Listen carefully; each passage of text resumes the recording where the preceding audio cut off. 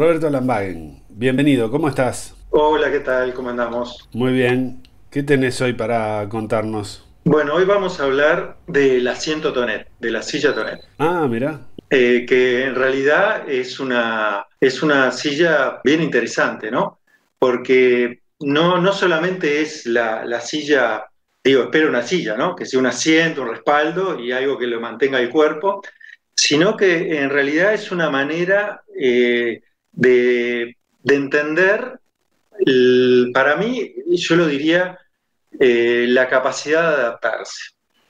¿Por qué? Porque Tetonet era alguien, según, eh, digamos, de alguna manera recogen las fuentes que hay sobre él, eh, alguien que venía del mundo de la carpintería. Era un carpintero, digamos, que había nacido en una ciudad ahí cercana al Ring, se llamaba Bopar, que estaba ahí a mitad de camino en aquellos momentos, viste, cuando la, cosa podía pasar de Francia a Alemania, bueno, en el momento ese estaba ahí justamente en el momento de transición, estamos hablando del cambio de siglo, entre el siglo XVIII y el siglo este, XIX, la, eh, digamos, la eclosión de, las guerras napoleónicas, y bueno, ¿y él qué, hizo? Podría haber seguido, ¿de dónde viene la adaptación? Siguiendo eh, con la manera de entender el asiento como, como se entendía hasta ese momento.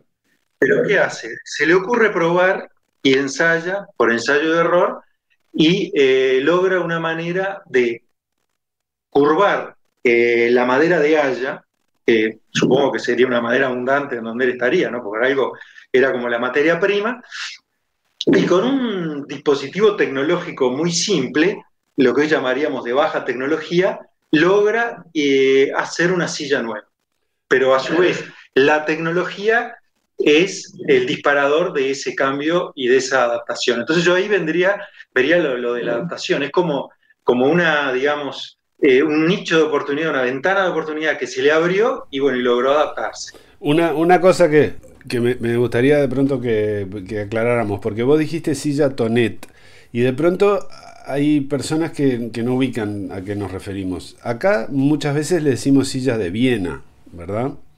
exacto. Para que ubiquen bien, digo, las sillas en que, estaban en, los cafés, por ejemplo, eran muy comunes y que ahora se venden como antigüedades, digamos, y, han adquirido otro prestigio.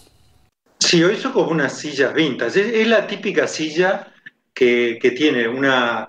Eh, la gente la llama también ligera, es la silla de café. Bueno, en realidad se hizo famoso porque este señor, eh, a, través también de, una oportunidad que, que tuvo de, contactar, digamos, con, los austríacos, eh, con Metternich específicamente, eh, que, que, era una especie de diplomático, lo, saca de ese pueblito que estaba y le dice, bueno, venía a Viena y empieza a producir.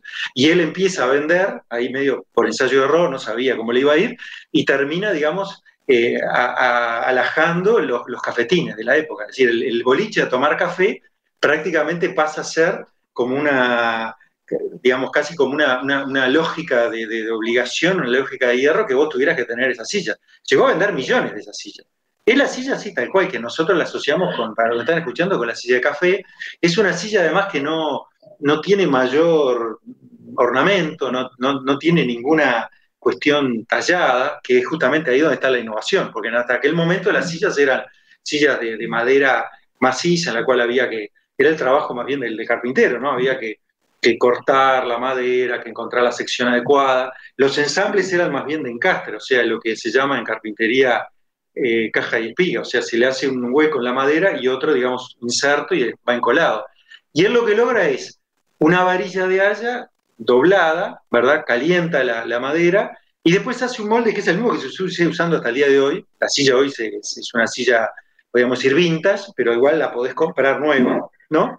Eh, después de que está, digamos, un tiempo eh, en, ese proceso de calentamiento con el vapor, la, madera queda como ablandada, digamos, y se la coloca en una, especie de, de, suncho, de molde metálico con unos, eh, digamos, sujetadores. Y ahí está un determinado tiempo, que, también fue probando, se, se, va secando con una temperatura menor, con unos 60, 70 grados, hasta que pierde totalmente la humedad eh, queda seca, se la quita del molde y la madera esa que era la pata, el respaldo, vuelve a formar el respaldo y baja en la pata trasera, queda, digamos, con esa conformación. Como una gran U, ¿no? Eh, como una gran U, exactamente. Como una gran U, como una gran U invertida. Eh, esa silla que es la, famosa, que es eh, la, la Tonet 14, además tenía un suplemento en el respaldo, ¿verdad?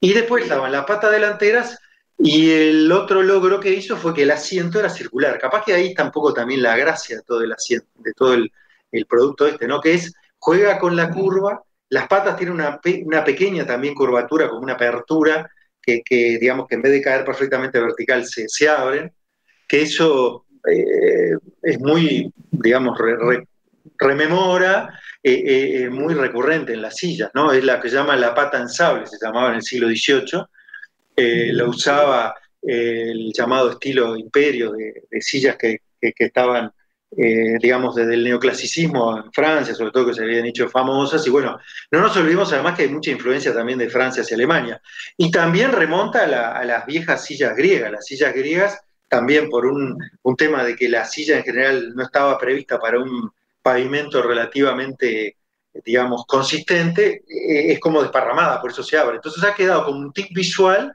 pero al mismo tiempo tiene una lógica de practicidad, porque es como que se adapta muy bien al, lugar, ¿no? Tonet entonces es el, que inventó ese trabajo de que se llama de matricería de, madera, de, doblar madera con calor y humedad, o, o, él tomó ese conocimiento y lo llevó a una excelencia, digamos, en este caso. No, lo que la, historia le atribuye es el invento, sí, de alguna ah, manera. Eh, o sea, e, e, él está también dentro de una lógica que es muy de comienzo del siglo XIX, que es la de la invención.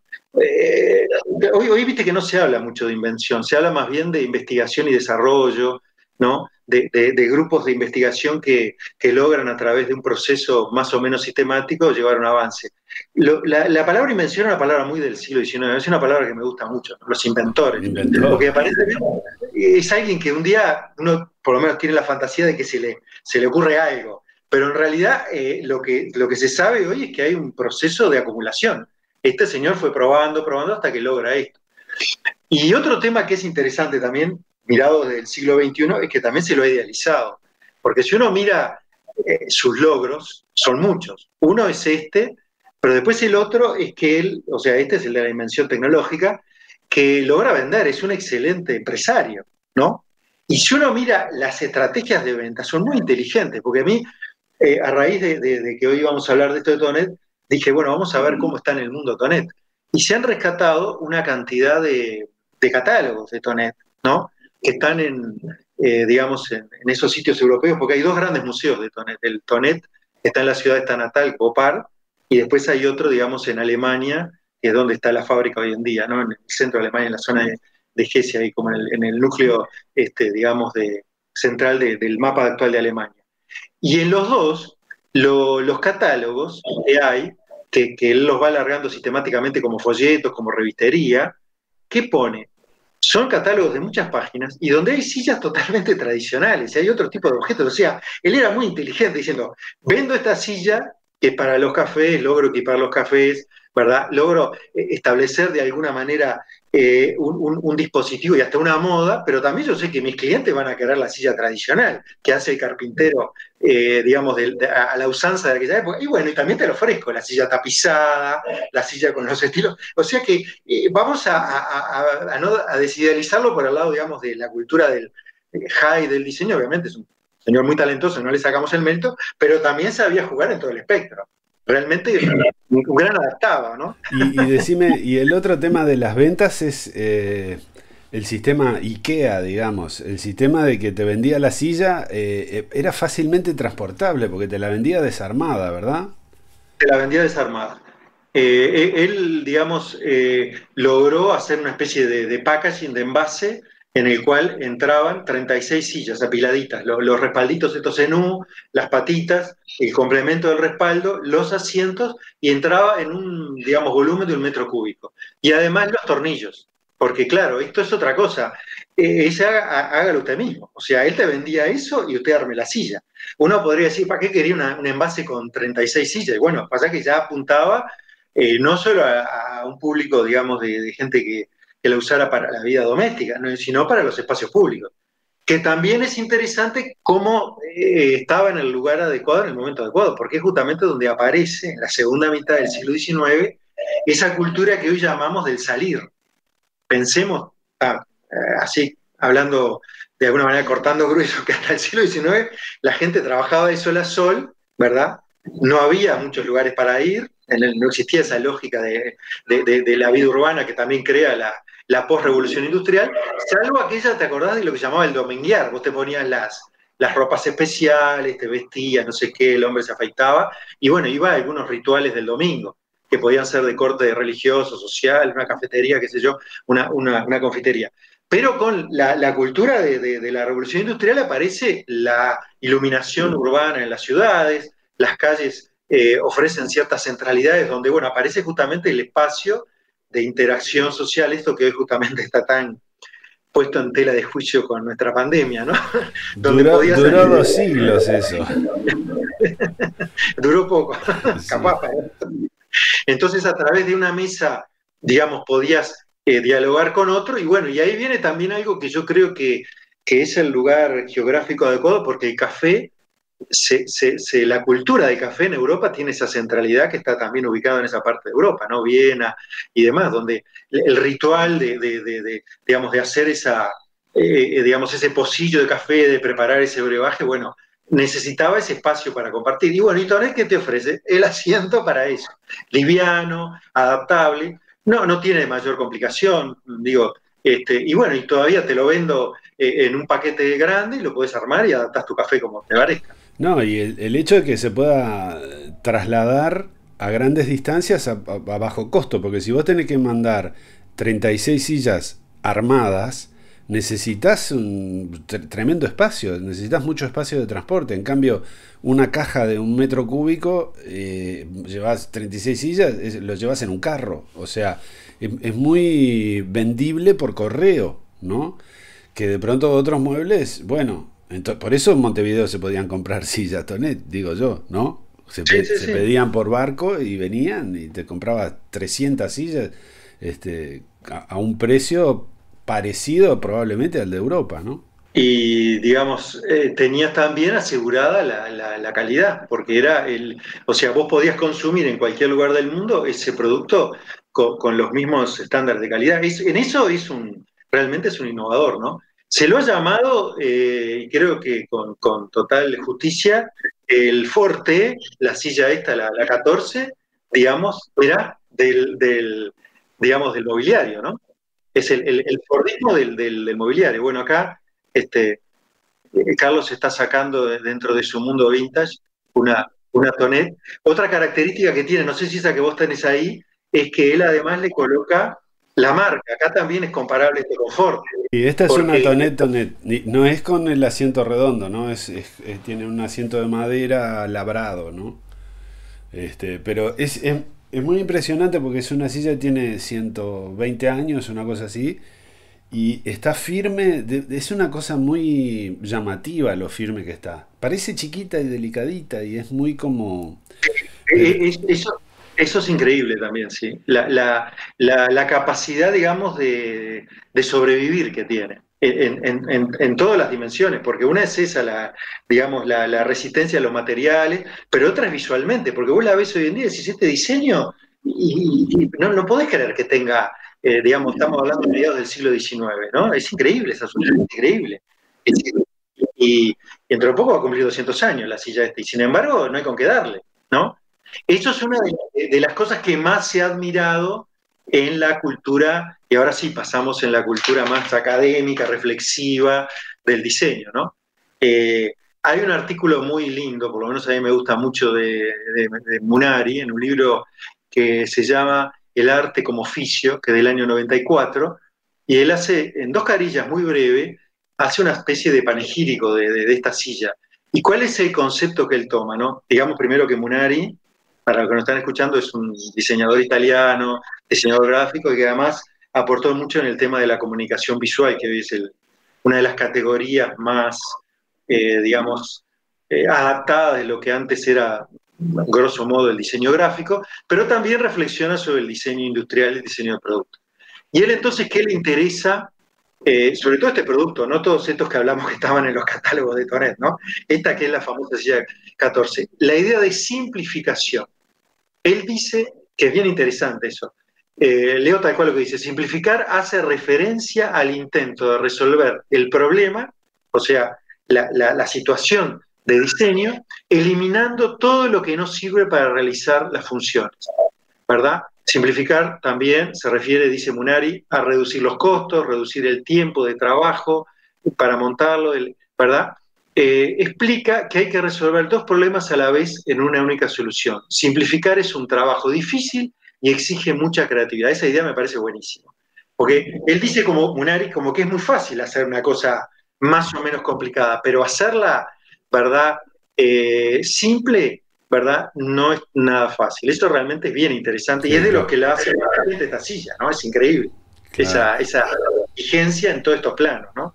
En el plano, digamos, de, la marca, que es lo que vos tenías ahí en la silla, porque justo estábamos hablando de eso, también Tonet, igual que, otros, eh, digamos, de, personajes del siglo XIX, más bien fueron norteamericanos, eh, como es Singer y, Ford, hace que su apellido, porque él se llamaba Tonet, ¿no? Y después, eh, igual que Ford, la, herencia sigue hasta el día, logra que, que su familia sea la marca. Eso también es bien interesante, ¿no? Porque la silla la conocemos como la silla de café o la silla vienesa, eh, por, el lugar del mundo donde, donde aparece, por la función primera que tiene, y después por la marca Tonet, que es una construcción de la familia Tonet, que él, digamos, de alguna manera le, traslada ese legado a, los hijos, que son los que abren, digamos, la, mirada Tonet eh, más, más eh, digamos, este, diversa, y bueno, y ahí incorporan, bueno, vos que nombraste IKEA, todo esto que ha nacido del, mundo del asiento, ¿no? Es el mobiliario y sobre todo las sillas es uno de los grandes, eh, digamos, referentes y, aspectos que siempre los diseñadores vuelven a hacer, ¿no? Es el triunfo de la, de la burguesía, digamos, en el sentido de que nombres de comerciantes, de grandes comerciantes, fabricante en este caso, pero sobre todo comerciante, eh, empieza a ser, bueno, empieza a ser una marca, pero empieza a ocupar el espacio público. Antes los nombres que ocupaban el espacio público eran los de la nobleza, ¿verdad? Del rey, de los duques y de esto. ¿Y, qué otros nombres había? Ninguno más. Algún artista de pronto. Algún novelista ya, pero a mediados del siglo XIX. Pero estos tipos, eh, eh, digamos, concretaron la Revolución Francesa, ¿no? Es decir, el triunfo de la burguesía.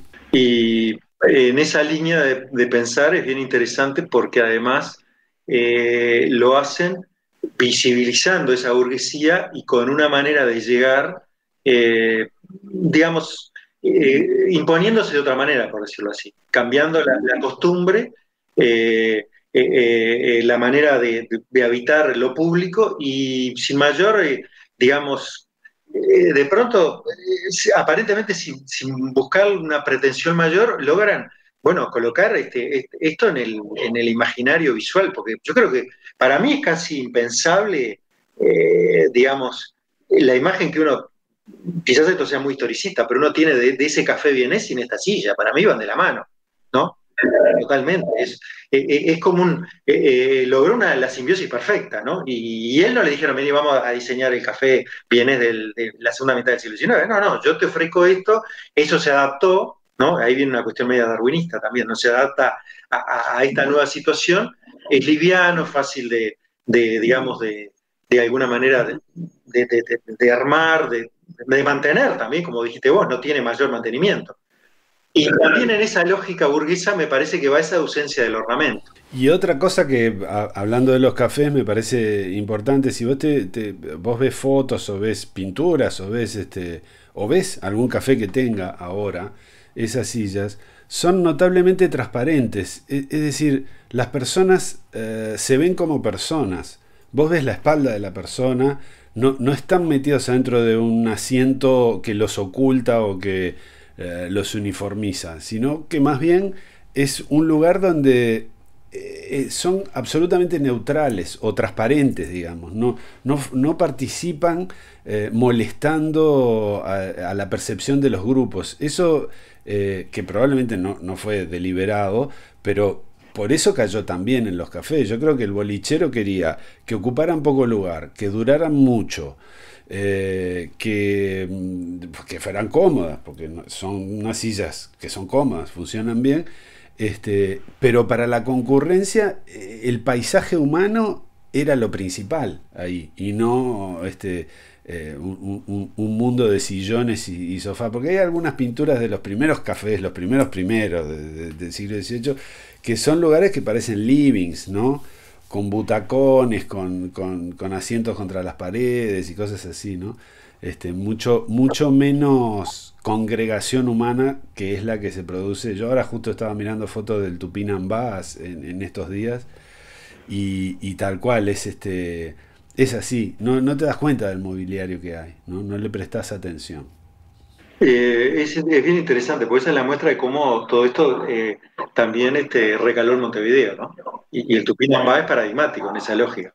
Eh, el Sorocabana tuvo algo de esto, pero ya eran butacones. El que queda ahora en Durazno, que es el único Sorocabana que hay, son más bien, viste, esas, esas formas redondeadas, que, que hay, hay, hay, algunas variantes, Tonet, para los que nos están escuchando también, que, que son sillas relativamente bajas, pero con el, espaldo de atrás curvado, o sea, tienen las patas hechas con esta madera doblada, pero es una cuestión, digamos, más eh, a mitad de camino entre butaca y silla, ¿no?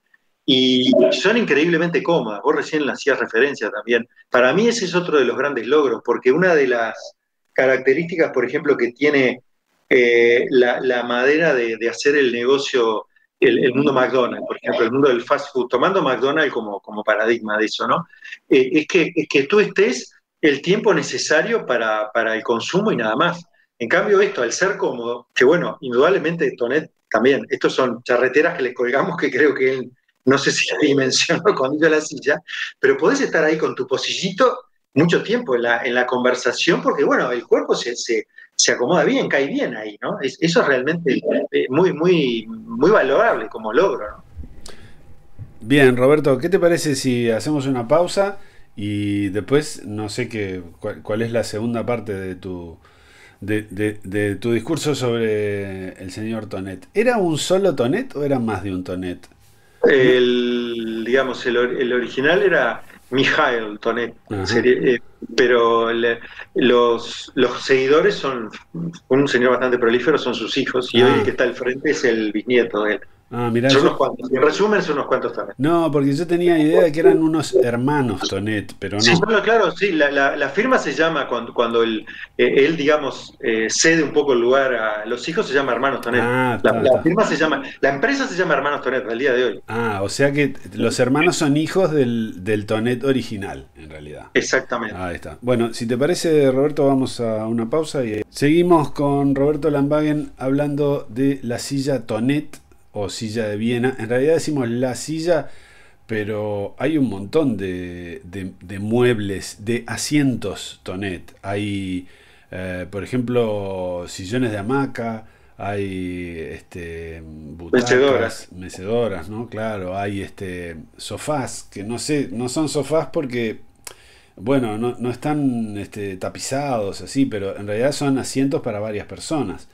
En fin, hay una cantidad grande. Yo mm, hoy le mostraba a, Roberto una que tengo aquí que eh, en principio si uno la ve eh, no, necesariamente es esa silla de maderas curvadas este, típicamente Tonet, pero sí es una Tonet, tiene un montón de líneas que hacen pensar y, la identifican como Tonet. Bien, adelante. El, mundo sí de, de Tonet a, mí me parece que eh, va eh, como en dos vertientes. Una en esta de la, de la innovación de la madera curvada y después está en su, posibilidad de adaptación, ¿no? Él, por ejemplo, eh, ahí está increíblemente, me parece como su, olfato, su instinto, porque él ve que a, a, través de esta posibilidad, digamos, del doblado de la madera, se puede generar una gran riqueza ornamental, ¿no? Hay una cantidad hasta de mesas que, yo las he visto más bien en, catálogos, en fotos, no las he visto tanto eh, en la vida real, digamos, se pueden encontrar de pronto en anticuarios, donde tiene todo un trabajo en, lo que serían los distintos dispositivos para sostener la mesa con una cantidad de, volutas, de, maderas, digamos, que, que, se van como torneando y entrelazando, que obviamente son totalmente ornamentales. No tienen eh, mayor, eh, digamos, eh, razón de estar ahí que esa. Quizás donde continúe más la lógica de esta sean las mecedoras, porque las mecedoras Tonet sí tiene una continuidad que viene del, del apoyabrazo y después sigue hasta, digamos, lo que permite ese, movimiento como de amacarse. Bueno, esa es una, de las patas. Y la otra de, de este asunto es el tejido, digamos, de, sustancias eh, vegetales, ¿no? El entramado ese, ¿verdad? Eh, que también hay, no sé, eh, yo tengo referencia acá a sillas Tonet que, que, no son de esta, de la de café, que son más bien mm, con un respaldo relativamente alto, pero tanto en el respaldo como en el asiento tienen ese trabajo de, la fibra tejida, ¿no? Y eso es lo que después ha seguido en alguna de las de los productos que esta empresa Toneta ha apoyado, pero ya entramos en el siglo XX. Vos decís este, lo, que, lo que se llama eh, esterillado. Exacto, lo que acá en Uruguay llamamos esterillado. No sé por qué lo llamamos acá así, porque en otros lados por esterilla entienden otra cosa. Esterilla entienden como una especie de felpudo. Pero acá le llamamos esterilla, ¿no? Que, aparentemente es una tradición completamente artesanal, no tiene nada que ver con, la, con esta cuestión industrial, ¿no? Y él lo que hace es retomar eso, porque además es un proceso, digamos, muy elaborado para poder llegar a, esa pequeña fibra y el trenzado y demás.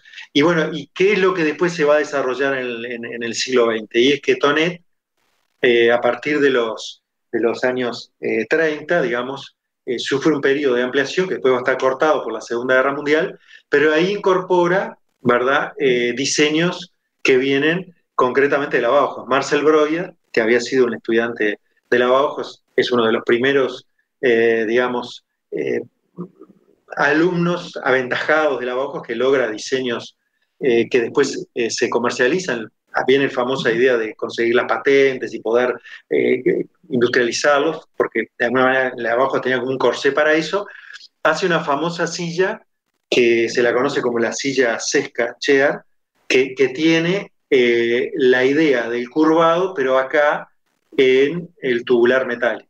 Y el asiento y el respaldo son igual que el Astonet en esterilla. Es una, un borde de madera, ¿verdad?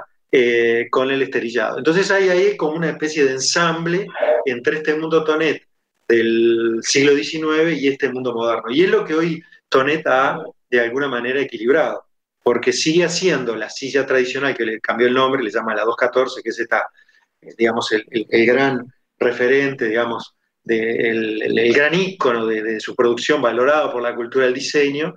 Hay distintos, si entran al sitio web de, de hoy en día van a ver que hay distintos colores, distintas terminaciones, le da, eh, siempre sin nada, digamos, no tiene nada tallado, no tiene eh, ningún stencil colocado, o sea, no, es como si fuera una silla tatuada, sino que de pronto es un color entero.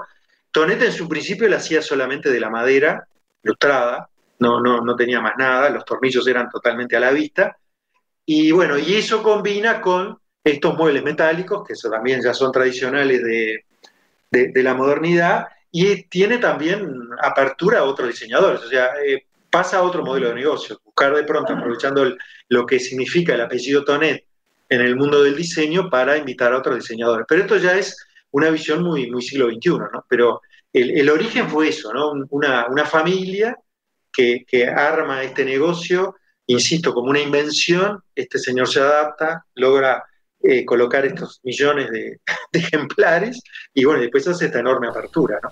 Ahora, como, como imágenes latentes, eh, sigue muy, sigue revelándose, porque yo no sé si habrá otro, otro objeto que se produzca, que, sea, que se siga produciendo durante tanto tiempo, ¿no? Durante dos siglos se sigue produciendo la misma cosa, ¿no? Sin, sin cambios porque bueno, puede haber algún pequeño cambio, como vos decís, el color o quién sabe qué mínimos detalles, pero si vos las ves son las mismas, ¿no? La, silla, la, como dijiste, 214 es el modelo. Y es, muy impresionante, ¿no? Que, se, que siga eso en funciones, ¿no? Y tuvo un periodo en el que me parece que eh, eh, causaron la impresión de haber envejecido eran unas cosas viejas, digamos, pasadas de moda. Me parece que por lo por porque estábamos acostumbrados a verlas en, cafés que habían envejecido como ambiente, ¿no? Este, había envejecido también la población que los usaba, yo qué sé, de pronto en los años 60, ponele, este, parecían muebles viejos, digamos, ¿no? Pero rápidamente se recuperaron, me da la impresión. Esa es una sensación personal, ¿no? Yo creo que sí, sí, no, nunca lo había pensado así, pero, pero coincido. Sí, yo creo que eh, el, el, sesentismo en diseño, eh, esto corre por mi cuenta, ¿no? No, no, es la ortodoxia de la, de la Academia del Diseño, eh, impactó mucho en una mirada sobre todo hacia hacia la novedad y, la tecnología del material. El plástico eh, eh, ahí abordó, o sea, mejor dicho, eh, en la playa desembarcó el plástico, en la playa del diseño, con mucha fuerza. Entonces, claro, esto, la madera, qué sé yo, no me hables de doblar madera, en fin. Y ahí sí cayó en desgracia. Pero hoy en día, gracias a también esa mirada de, revalorar el pasado, que creo que la posmodernidad ayudó para eso, de revisitar el pasado, eh, por una mezcla entre nostalgia, en el sentido de pérdida, como la parte negativa de la nostalgia, pero en un sentido bueno, positivo, de, decir, bueno, esto sigue vigente, esto no hay con qué darle. Yo creo que la toneta es el mejor ejemplo de un diseño que no hay con qué darle en todos los planos. sigue, sigue aplicando. Eh, para mí es eh, el, mejor ejemplo también de, eh, yendo a la teoría del diseño, algo que yo se lo atribuyo a Munari, que yo le hago decir a Munari, no sé si es Munari, le digo por Roberto, que, es la invariante del diseño.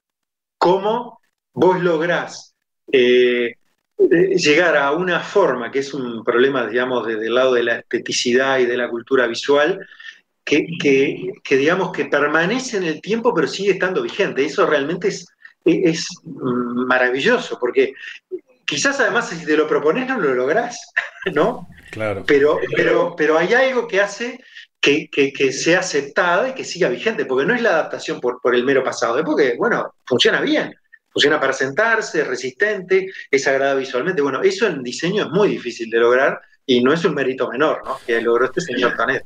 No, claro, y sobre todo que me parece eh, digamos, e, ese tema de los 60 no es menor porque hace intervenir en el mundo del diseño lo que pasa en el mundo. Lo que necesitaba la gente en los 60 era eh, cambiar, ¿no? Es la década de la revolución del siglo XX.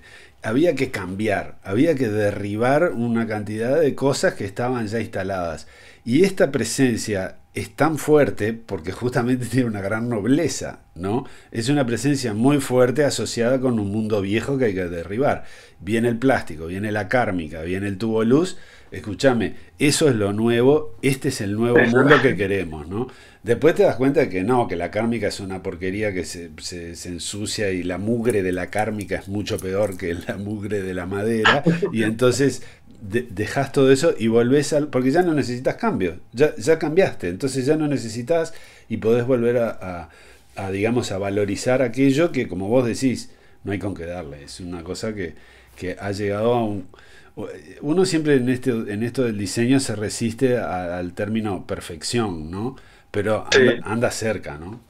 Sí, le pegan en los cercas. Y bueno, y si pensamos de ese lado, es inevitable no acordarse de Le Corbusier, ¿no? Porque Le Corbusier cuando hace su, inventario eh, de objetos de diseño que están ahí a la vista y que hay que mirar de otro lado, desde otro lado, en aquello que, el diseño tiene mucho de mirada, bueno, elige la Tonet. Él coloca en su famoso pabellón eh, del Esprit Nouveau en París, eh, lo que él llamaba el objeto Trouvé, aquello que encontraba, y se queda con una toneta, como diciendo, yo voy por ahí, selecciono, y bueno, y con esto me quedo. y bueno, hay, realmente una mirada muy sutil en, Le Corbusier para eso, que, es lo que yo rescato siempre del Corbu, ¿no?